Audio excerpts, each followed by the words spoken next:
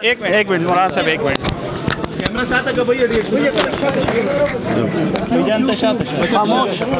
بسم الله الرحمن الرحيم وصلى الله على النبي الكريم وعلى آله وصحبه وبارك وسلم جو واقعہ یہاں پشاور میں جمعے کے روز اور مسجد کے اندر رونما ہوا ایک انتہائی روح فرسا واقعہ ہے اور صفاق ہاتھوں نے پشاور کے ساتھ ظلم کیا ہے۔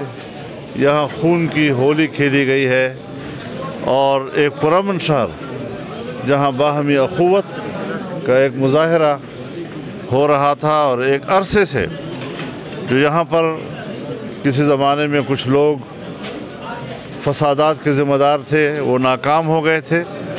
اور پھر سے ایک محبتوں کا ماحول اس شہر میں اسٹیبلش ہو گیا تھا، مستحکم ہوا۔ آج اسے پھر پارا پارا کرنے کی کوشش کی گئی ہے۔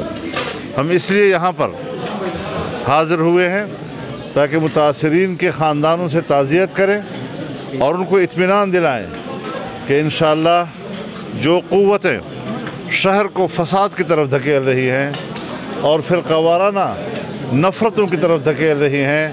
انشاءاللہ ہم ان سازشوں کو ناکام بنائیں گے اور باہمی اخوت کا ماحول کبھی مٹنے نہیں دیں گے۔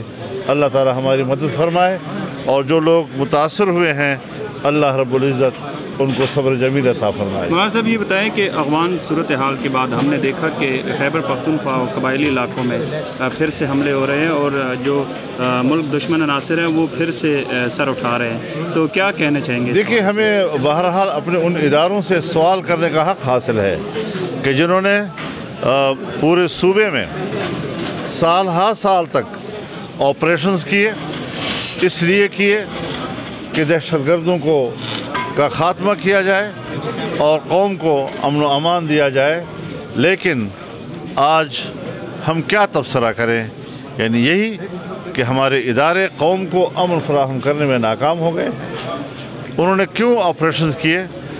ہمارے لوگوں نے اپنے ملک کے اندر ہجرتیں کی۔ قبائل کے مائیں، بہنیں، وہ اپنے چھوٹے چھوٹے بچوں کو گود میں لے کر اپنے علاقوں سے نکلے، اپنے گھروں سے نکلے۔ اور آج بھی ملک کے طول عرض میں ان کے خاندان بکھرے ہوئے ہیں۔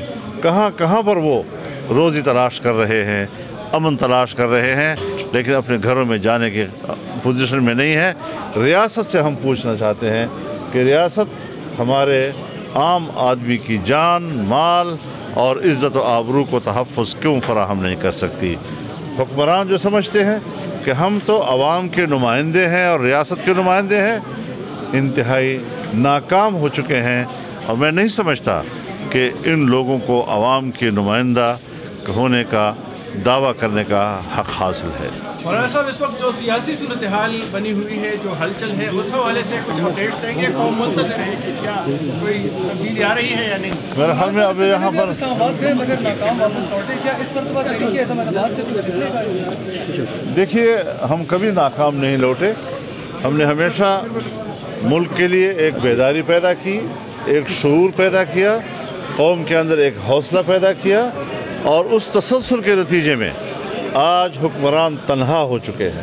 آج ان کے اندر شکست خوردگی کا ایک احساس پیدا ہو گیا ہے اور عدم اعتماد کی طرف اب معاملہ آگے بڑھ رہا ہے۔